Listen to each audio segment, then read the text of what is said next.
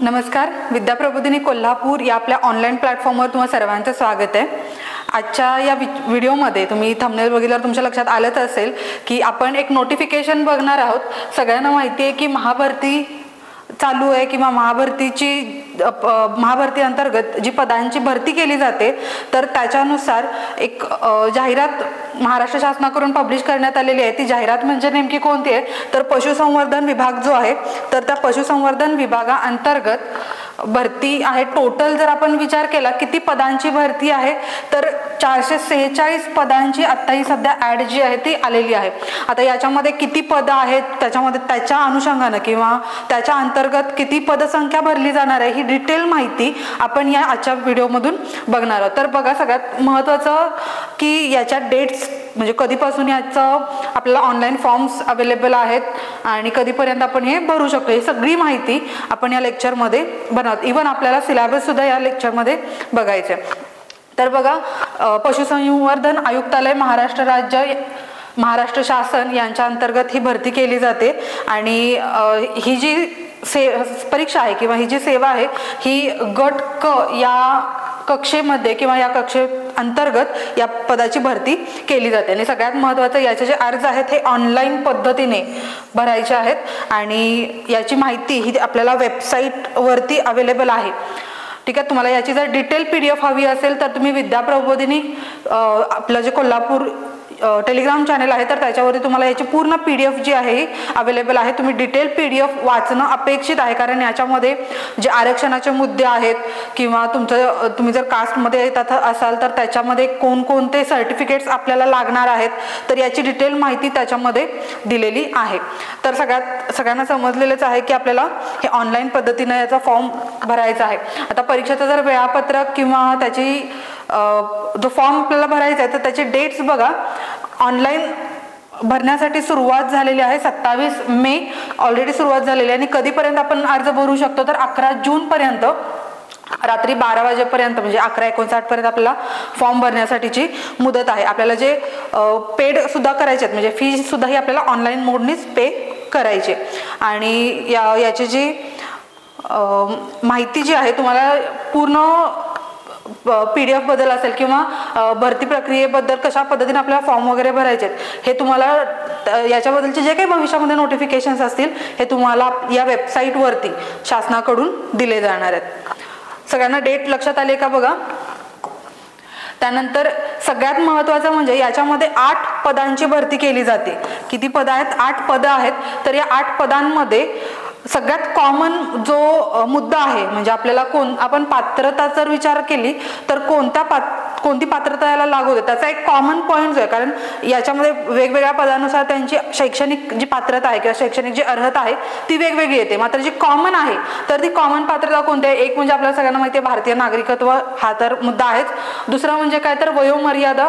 आता वयोमर्यादेमध्ये कोणकोणती माहिती बघा तर याच्यामध्ये जे उमेदवार आहेत त्यांचं वय कधी कन्सिडर केलं जाणार आहे? तर एक मे दोन हजार तेवीस या तारखेनुसार त्यांचं वय जे आहे कॅल्क्युलेट केलं जाणार आहे. त्यानंतर किमान वयोमर्यादा. बघा सग मिनिमम अठरा वर्ष पूर्ण पाहिजेत आणि मॅक्सिमम हे थर्टी एट इयर म्हणजे अडतीस वर्षांपर्यंत असावं. हे जनरल कॅटेगरीसाठी आहे तर मागासवर्गीयांसाठी त्रेचाळीस वर्षांपेक्षा जास्त नसावं. हे दिलेलं आहे. त्यानंतर महाराष्ट्र शासनाने मान्यता दिलेले जे मागासवर्गीय उमेदवार आहेत त्यांच्या बाबतीमध्ये पाच वर्ष म्हणजे अडतीसला पाच वर्षांच्या बाबतीमध्ये थोडंसं त्याला जादा वयोमर्यादा दिलेली आहे. त्यानंतर दिव्यांग जे आहेत यांच्या बाबतीत पंचेचाळीस वर्षापर्यंत आहेत. जे खेळाडू पात्र खेळाडू आहेत त्यांच्यासाठी त्रेचाळीस वर्षांपर्यंत आहे. माजी सैनिक किंवा त्यांनी सशस्त्र दलात सेवेइतका कालावधी अधिक तीन वर्ष आणि विकलांग माजी सैनिकांसाठी पंचेचाळीस वर्षांपर्यंत ही मर्यादा दिलेली आहे. त्यानंतर अनाथ उमेदवारांसाठी त्रेचाळीस वर्षांपर्यंत आहे. आणि बाकीचे जे मुद्दे आहेत ही हे तुम्ही पी डी एफमध्ये डिटेल वाचून घ्या. त्यानंतर पदांमध्ये जे आठ पदं मी तुम्हाला म्हटली तर त्याच्यात पहिलं पद जे आहे हे कोणतं आहे? तर पशुधन पर्यवेक्षक हे पद आहे. याची जर पे स्केल आपण तुम्ही बघितला तर पंचवीस हजार पाचशे पासून एक्क्याऐंशी हजार शंभर. एवढं पे स्केल या पोस्टसाठी दिलं जातं आहे आणि यां या पोस्टमध्ये किंवा पर्यवेक्षक पशुधन पर्यवेक्षकमध्ये किती पदांची भरती आहे तर तीनशे शहात्तर पदे जी आहेत या पोस्ट अंतर्गत भरली जाणार आहेत. आता याचा सिलेबस सिलेबस म्हणण्यापेक्षा याच्यामध्ये शैक्षणिक अर्हता कोणती आहे तर त्याच्यात सगळ्यात महत्त्वाचा मुद्दा आहे कारण या जाहिरातीमध्ये जो टेक्निकल आपण पॉईंट म्हणतो किंवा टेक्निकल जो आप आपली इलिजिबिलिटी काय क्रायटेरिया आहे तर त्याच्यामध्ये सगळ्यात महत्त्वाचं ही शैक्षणिक अर्हता म्हणून आपण याला बघू शकतो. तर बघा उमेदवार हा माध्यमिक शालांत परीक्षा उत्तीर्ण असावा ही पहिली अट आहे जी कॉमन आहे. आणि बाकीच्या ज्या आहेत ह्या एकमेकांना ऑरमध्ये आहेत. असं नाहीये की या सगळ्याच इलिजिबल असायला पाहिजेत. या एकमेकांना किंवा किंवा ऑरमध्ये आहेत. तर बघा काय काय दिलेलं आहे. तर पशुसंवर्धन आयुक्तालयाने चालविलेला किंवा महाराष्ट्र राज्यातील संविधानिक कृषी विद्यापीठाने चालवलेला किंवा इथं ऍड शब्द जो आहे हा और हा शब्द खूप महत्त्वाचा आहे. किंवा हा शब्द खूप महत्त्वाचा आहे. किंवा महाराष्ट्र राज्यातील समतुल्य विद्यापीठाने चालविलेला पशुधन पर्यवेक्षक प्रशिक्षण अभ्यासक्रम उत्तीर्ण केलेला असावा.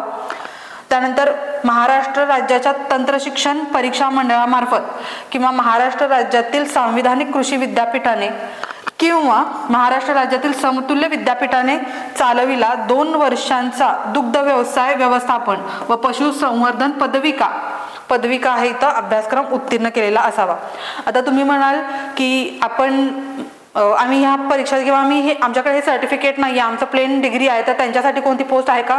तर हो याच्यामध्ये जे कॉमन किंवा प्लेन डिग्री जी आहे तर त्याच्यासाठी सुद्धा भरती किंवा त्याच्यासाठी सुद्धा जाहिरात ही प प्रकाशित झालेली आहे ती आपण पुढच्या पदामध्ये पाहणार आहोत. फक्त ही जी पहिली किंवा एक महत्वाचं पद जे आपण म्हणतो तर ती पदसंख्या याच्यामध्ये आणि त्यांची शैक्षणिक अर्हता आपण आता बघतो त्यानंतर तिसरं याच्यामध्ये बघा महाराष्ट्र पशु व मत्स्य विज्ञान विद्यापीठ नागपूर यांच्यामार्फत चालविण्यात येणारा दोन वर्षाचा पशुधन व्यवस्थापन व दुग्धोत्पादन पदविका अभ्यासक्रम उत्तीर्ण केलेला असावा.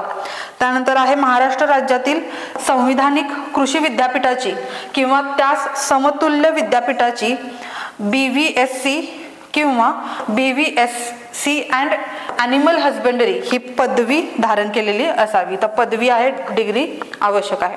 तर ह्या एकमेकांना ऑर किंवा असणाऱ्या या शैक्षणिक अर्हता आहेत. पहिल्या पद पदासाठीच्या पुढं बघूयात. दुसरं जे पद आहे ते बघा.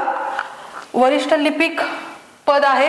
याचा पे स्केल जर आपण बघितलं तर सेम पंचवीस हजार पाचशे ते एक्क्याऐंशी हजार शंभर पर्यंत पे स्केल याचा आहे. आणि याच्यामध्ये सगळ्यात महत्वाचं की कोण एलिजिबल आहेत याच्यासाठी? तर सांविधानिक विद्यापीठाची पदवी म्हणजे कोणत्याही विद्यापीठाची तुमच्याकडे पदवी असेल तर तुम्ही या एक परीक्षेसाठी किंवा या पदासाठी पात्र आहात. तिसरं बघा याच्यामध्ये आहे लघुलेखक उच्च श्रेणी आणि चौथा चौथी पोस्ट आहे लघुलेखक निम्न श्रेणीची. दोघांमध्ये दोघांचा पे स्केल तुम्ही बघू शकतात बोर्डवरती आणि दोघांच्या मध्ये जे आपण म्हणतो की शैक्षणिक पात्रता जी आहे ती कोणत्या प्रकारची आहे? तर बघा माध्यमिक शालांत परीक्षा उत्तीर्ण प्रमाणपत्र असणं हे दोघांमध्ये कॉमन आहे. आणि जर Marathi English shorthand writing आपण ज्याला म्हणतो किंवा शॉर्ट हँड टायपिंग ज्याला आपण म्हणतो तर त्याचं जे स्पीड आहे मिनिमम जे स्पीड आहे तर ते त्याच्यानुसार या दोघांमध्ये फरक आपल्याला बघायला मिळतं ठीक आहे तुम्ही जेव्हा पॉज करून डिटेल ही जी माहिती आहे डिटेल वाचू शकतायत. पुढे बघूयात. त्यानंतर पाचवी पाचवं जे पद आहे ते आहे प्रयोगशाळा तंत्रज्ञ. तर याच्यामध्ये बघा जी पे स्केल आहे पस्तीस हजार चारशे ते एक लाख बारा हजार चारशे पर्यंत इतकं पे स्केल याला आहे. टेक्निकल पोस्ट आहे. आता याच्यामध्ये पदसंख्या किती आहे? तर चार एवढी पदसंख्या आहे. आणि याच्यासाठी कोणकोणते इलि कॅन्डिडेट्स इलिजिबल आहेत? तर बघा केमिस्ट्री म्हणजे रसायनशास्त्र भौतिकशास्त्र दॅट इज फिजिक्स जीवशास्त्र बायोलॉजी किंवा सूक्ष्मजीवशास्त्र मायक्रोबायोलॉजी या मुख्य विषयासह विज्ञानाची पदवीधारक आपलं बी एस सी ज्याला आपण म्हणतो ती असणं गरजेचं आहे. आणि दुसरं म्हणजे महाराष्ट्र राज्यातील संविधानिक विद्यापीठाद्वारे किंवा Haffkine biopharmaceutical corporation limited Mumbai यांच्याद्वारे आयोजित प्रयोगशाला वैद्यकीय तंत्रज्ञानाचा डिप्लोमा धारक असावा. ह्या आयोगाने याच्यामध्ये सांगितलेलं आहे. मग अशीच मी तुम्हाला म्हटलं की टेक्निकल पोस्ट आहे. त्यानंतर पुढचं आहे. सात नंबरचं जे पद आहे तर याच्यामध्ये यांत्रिकी या पदासाठी पे स्केल तुम्ही बघू शकता एकोणीस हजार नऊशे ते त्रेसष्ट हजार दोनशे इतकं पे स्केल आहे. याच्यामध्ये पदसंख्या दोन इतकी आहे.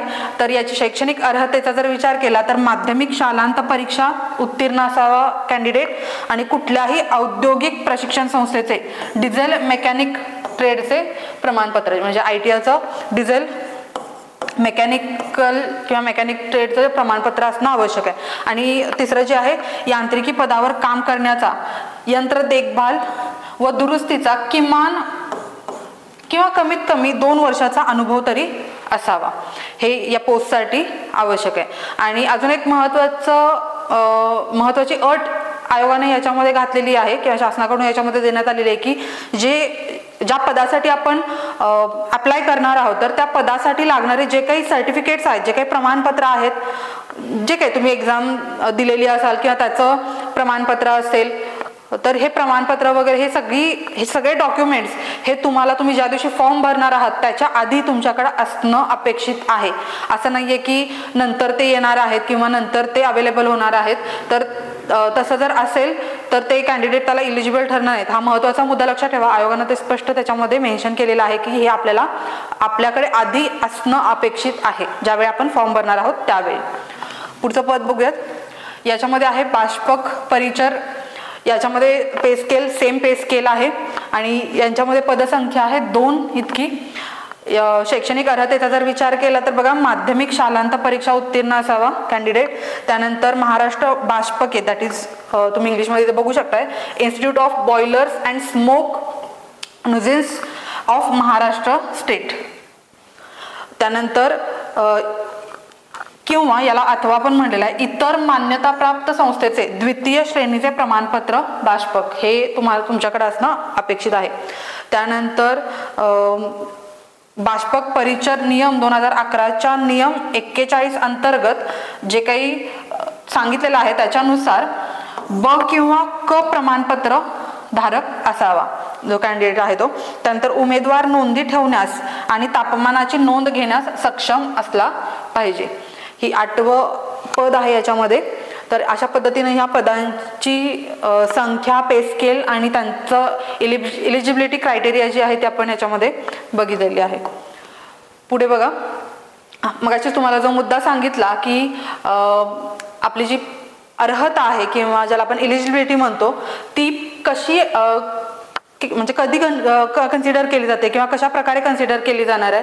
तर बघा सर्व पदांकरता दिनांक एक मे दोन हजार तेवीस रोजी विहित शैक्षणिक अर्हता व अनुभव धारण केलेला असणे अनिवार्य आहे. म्हणजे एक मे या तारखेला त्या कॅन्डिडेटकडे जे काही आपण डॉक्युमेंट्स वगैरे आहेत तर किंवा शैक्षणिक अर्हता जी आहे ती त्याच्याकडे असणं अपेक्षित आहे. आणि त्याच्या संबंधीचा अनुभव असणारं जे काही प्रमाणपत्र आहे सर्टिफिकेट आहे ते सुद्धा असणं गरजेचं आहे. त्यानंतर बघा निवड प्रक्रिया. जाहिरातीमध्ये नमूद अर्हता किंवा पात्रतेबाबत अटी किमान असून किमान अर्हता धारण केली म्हणून उमेदवार शिफारसीसाठी पात्र असणार नाही. ठीक आहे? तर अशा पद्धतीनं ज्या अटी आहेत त्या आयोगानं दिलेल्या आहेत. त्यानंतर निवडीची पद्धत बघा. तर याच्यामध्ये काय आहे? तर सर्व पदांसाठी फक्त मराठी माध्यमातून संगणक प्रणालीद्वारे ऑनलाईन परीक्षा मेन खूप महत्त्वाचं आहे की ही एक्झाम मराठीमध्ये होते. दुसरं की ही ऑनलाईन मोडमध्ये आहे ऑफलाईन मोडमध्ये नाही आहे ऑनलाईन पद्धतीनं एक्झाम घेतली जाते. आणि वस्तुनिष्ठ बहुपर्यायी that is M C Q फॉर्मॅटमध्ये ही एक्झाम असणार आहे. त्यानंतर परीक्षा राज्यातील जिल्ह्याच्या मुख्यालय घेण्यात येईल. म्हणजे राज्यामध्ये जे महत्त्वाचे सेंटर्स आहेत त्या ठिकाणी ही ऑनलाईन मोडनी एक्झाम घेतली जाणार आहे. त्यानंतर बघा संगणक आधारित परीक्षेद्वारे म्हणजे कम्प्युटर बेस्ड ऑनलाईन एक्झाम जी आहे घेण्यात येणाऱ्या ऑनलाईन परीक्षेत प्राप्त गुणांच्या आधारे गुणवत्तेनुसार उमेदवाराची निवड केली जाईल. गुणवत्ता यादीत अंतर्भाव होण्यासाठी उमेदवाराने किमान पंचेचाळीस टक्के गुण प्राप्त करणे आवश्यक आहे. म्हणजे आपल्याला मेरिटमध्ये येण्यासाठी फक्त पासिंग असं नाही आहे तर किमान किंवा मिनिमम फोर्टी फाईव्ह पर्सेंट आपल्याला मिळवणं अपेक्षित आहे त्या एक्झाममध्ये त्यानंतर संगणक आधारित जी एक्झाम आहे म्हणजे सीबीटी जी आहे ऑनलाईन एक्झामची या ऑनलाईन परीक्षा वस्तुनिष्ठ बहु पर्यायी स्वरूपात म्हणजे आता तुम्हाला म्हटलं की एम सी क्यू फॉर्मॅटमध्ये आहे आणि सगळ्यात महत्त्वाचा प्रत्येक प्रश्नास किती गुण आहेत तर दोन मार्कासाठी प्रश्न एक विचारला जातोय. बघा. जर आपण कंबाईनमध्ये बघितलं तर कंबाईन म्हणजे P S I S T A S O याच्यामध्ये एक प्रश्न एका मार्कासाठी विचारला जातोय. राज्यसेवेमध्ये जर विचार केला तर एक प्रश्न दोन मार्कासाठी विचारला जातोय आणि सेम या ठिकाणी सुद्धा एक प्रश्न हा दोन मार्कासाठी विचारला जाणार आहे. खूप महत्वाचं आहे. नंतर पुढे बघा किती पदा किती मार्कांसाठी की एक्झाम आहे. ज्या पदांसाठी शारीरिक व व्यावसायिक चाचणी आवश्यक नाही अशा पदांकरता उमेदवाराची निवड करताना सीबीटीद्वारे घेण्यात येणारी ऑनलाईन परीक्षा.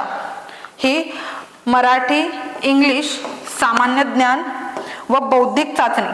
म्हणजे याच्यामध्ये आपलं जसं मराठी ग्रामर इंग्लिश ग्रामर त्यानंतर जी एसचा जो पार्ट आहे आपला तो आणि बौद्धिक ज्ञान किंवा बौद्धिक चाचणी याच्यामध्ये मॅथ्स रिझनिंगचा समावेश होतोय. या विषयांकरता प्रत्येकी पन्नास गुण. प्रत्येकी पन्नास गुण आहेत पन्नास मार्क्स आहेत. म्हणजे किती क्वेश्चन होणार आहेत? एक क्वेश्चन दोन मार्कासाठी आहे म्हणजे प्रत्येकी पंचवीस क्वेश्चन्स याच्यामध्ये आपल्याला बघायला मिळतात. पन्नास मार्कांसाठी. म्हणजे टोटल मार्क्स किती झाले चार सेक्शन आहेत. शंभर क्वेश्चन असणार आहेत दोनशे मार्कांसाठी. म्हणजे आपली जी एक्झाम आहे ही दोनशे मार्कांची होणार आहे. किती क्वेश्चन आहेत तर? शंभर क्वेश्चन याच्यामध्ये विचारले जातील. आणि परीक्षा कालावधी किती असणार आहे? सगळ्यात महत्वाचं टाइम जो आहे हा दोन तासांचा राहणार आहे. टू आवर्स म्हणजे दोन तासांमध्ये ऑनलाईन मोडनी आपल्याला किती प्रश्न सॉल्व्ह करायचे आहेत? पंचवीस एका सेक्शनमध्ये असे चार सेक्शन म्हणजे आपल्याला शंभर क्वेश्चन जे आहेत हे टोटल सॉल्व्ह करायचे आहेत दोन तासांमध्ये. एक क्वेश्चन दोन मार्काला आणि याच्यानुसार दोनशे गुणांची ही परीक्षा घेण्यात येणार आहे. ठीक आहे? बऱ्यापैकी तुम्हाला या एक्झामचा जो पॅटर्न आहे किंवा एक्झाममध्ये इन्क्लूड होणारे जे सेक्शन्स आहेत त्याची माहिती मिळाली असेल. पुढे बघूयात. बघा याच्यामध्ये पदानुसार सुद्धा दिलेलं आहे की किती गुणांची एक्झाम आहे आणि कशा पद्धतीनं ते डिवाईड होतात. हे सुद्धा तुम्हाला पी डी एफमध्ये डिटेल माहिती मिळेल.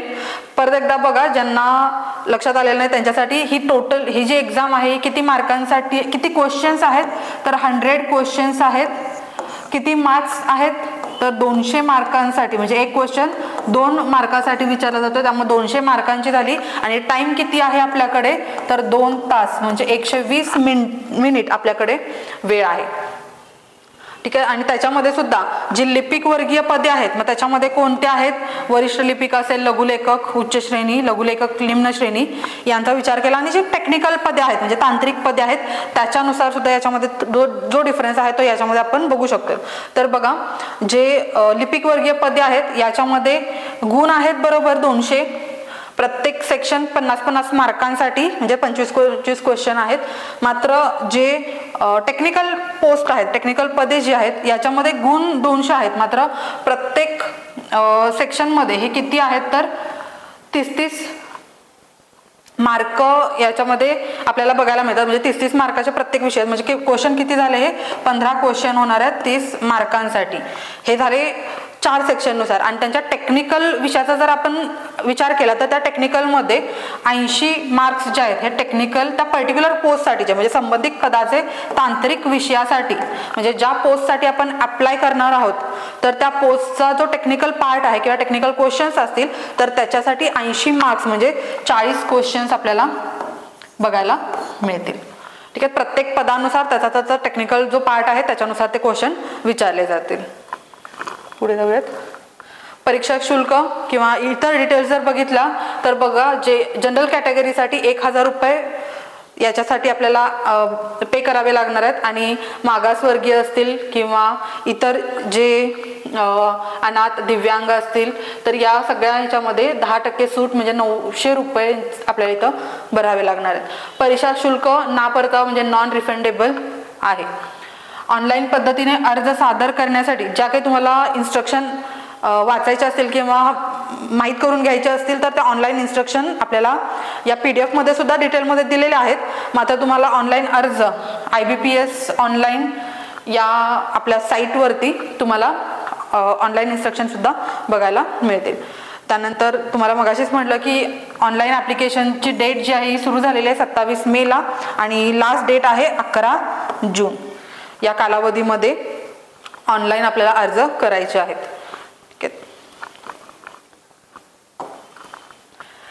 तर अशा पद्धतीनं आपण या लेक्चरमध्ये पशुसंवर्धन विभागाची ॲड जी आहे जाहिरात जे ही डिटेलमध्ये पाहिलेली आहे. विद्याप्रबोधिनी कोल्हापूर या आपल्या ऑफलाईन किंवा सेंटरमध्ये आपण जी मेगा भरत भरती अंतर्गत जी पदांची भरती केली जाणार आहे तर त्याच्यासाठी आपली बॅच स्टार्ट होते. पाच जूनला याची बॅच स्टार्ट होते. तुम्हाला जर डिटेल माहिती याची जर हवी असेल बघा पाच जूनला बॅच स्टार्ट होते. तुम्हाला जर डिटेल माहिती हवी असेल तर तुम्ही दिलेल्या नंबरवरती कॉल करू शकतात किंवा तुम्ही सेंटरवरती येऊन सुद्धा प्रत्यक्ष भेट घेऊन या बॅच संबंधी डिटेल माहिती मिळ घेऊ शकतात. स सरळसेवा अंतर्गत ज्या काही सगळ्या भरती होतात म्हणजे तलाठी भरती ग्रामसेवक वनरक्षक आरोग्यसेवक जलसंपदा आहे झेडपीच्या वगैरे त्या सगळ्या एक्झामसाठी जो से कॉमन सिलॅबस आहे तर त्या सिलॅबसचं आपण डिटेल तयारी जी आहे ही या बॅचच्या माध्यमातून करून घेणार आहोत. तर बघा पाच जूनला सुरू होते. तुम्ही सेंटरवरती येऊन तुम्हाला आवश्यक असणारी माहिती घेऊ शकतात. Thank you thank you very much